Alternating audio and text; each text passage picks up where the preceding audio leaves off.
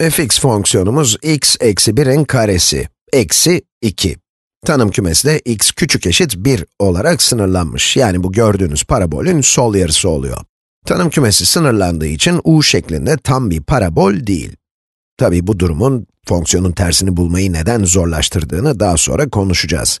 Gelin şimdi tersini burada bulmaya çalışalım. İlk olarak y'yi fx'e eşitleyerek başlayalım fx'in hemen sonuna y eşittir yazabiliriz ya da y eşittir x eksi 1'in karesi eksi 2. Güzel. Ayrıca neydi? x küçük eşit 1'di. Şimdi elimizde x cinsinden bir y fonksiyonu var. Ters fonksiyonu bulmak için y cinsinden x fonksiyonunu bulmalıyız. Ayrıca y'yi de uygun şekilde sınırlandırmalıyız. Grafiğe bakıp y'nin eksi 2'ye eşit ya da eksi 2'den büyük olduğu noktalarda tanımlı olduğunu söyleyebiliriz. Parantez içinde y büyük eşit eksi 2 yazabiliriz, değil mi? Güzel. Bu durum şu anda değer kümesi için geçerli.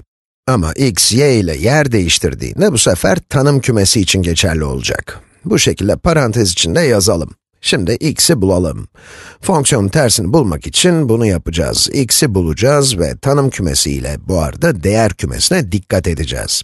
Bakalım denklemin her iki yanına 2 ekleyelim. y artı 2 eşittir x eksi 1'in karesi. Eksi 2 ile 2 birbirini götürdü.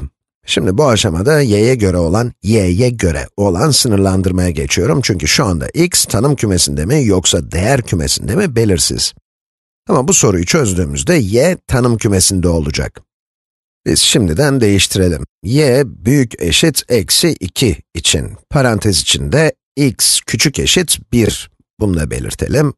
Soruyu tam olarak çözmediğimiz için her iki sınırlandırmayı da şimdilik tutuyoruz. y cinsinden çözmek için her iki yanın karekökünü almalıyız.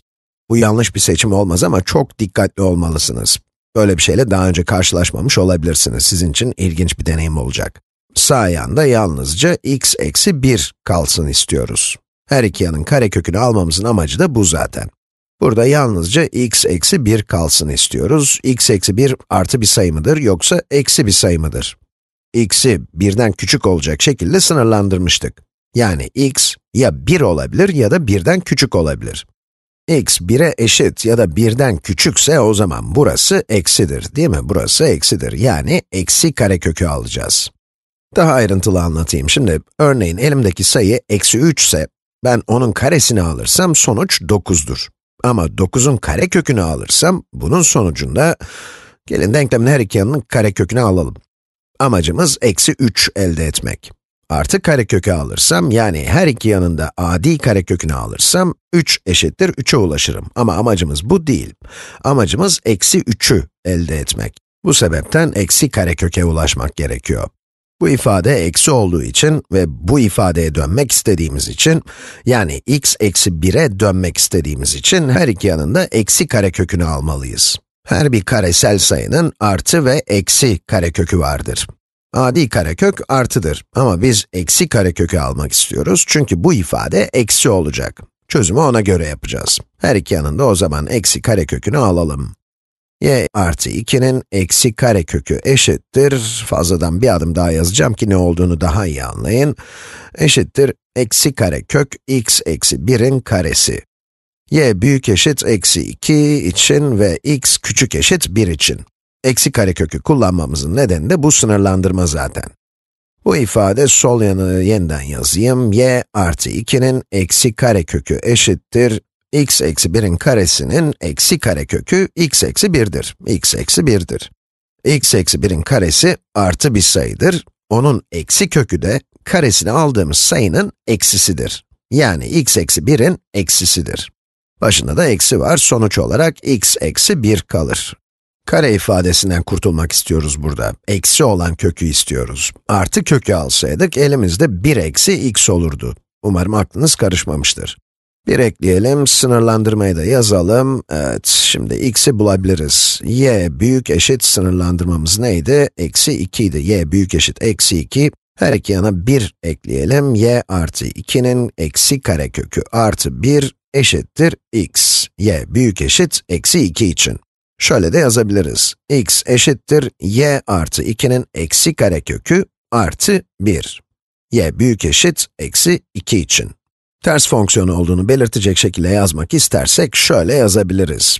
f y'nin tersi eşittir, f y'nin tersi eşittir, y artı 2'nin eksi karekökü artı 1, y büyük eşit eksi 2 için. Fonksiyonu bağımsız değişkeni x olacak şekilde yazmak istersek, x'lerle y'leri yer değiştiririz. Yani fx'in tersi, y yerine x yazdım, eşittir x artı 2'nin eksi karekökü artı 1. y yerine x yazıyoruz, x büyük eşit eksi 2 için. Gelin grafiğini çizelim. x eşittir eksi 2 için burası 0 olur. Yani grafiğimizde eksi 2'ye 1 noktamız var. Grafiğimizde eksi 2'ye 1 noktamız var. x eşittir eksi 1 için burası eksi 1 olur. Grafiğimizde de eksi 1'e 0 noktası olur. Eksi 1'e 0 noktası. Sonra da x yerine x yerine 2 koyarsak, x eşittir 2 için burası 4'tür. 4'ün adi karekökü 2'dir. Başında eksi var, eksi 2. Yani 2'ye eksi 1. Yani 2'ye eksi 1 grafiğimizdeki bir nokta olur. f'nin ters fonksiyonun grafiği yaklaşık olarak şöyledir. Grafik yaklaşık şöyle bir şeydir. Gördüğünüz gibi ilk grafiğin y eşittir x doğrusuna göre simetridir y eşittir x doğrusuna göre. Neden? Çünkü y'lerle x'ler yer değiştirdiler. Bu, görmenizi istediğim zor ters fonksiyon sorularından biriydi, özellikle de yüksek matematiğe giriş dersi için. Çünkü eksi karekökü almak gerektiğini bilmek, bu sorunun püf noktası.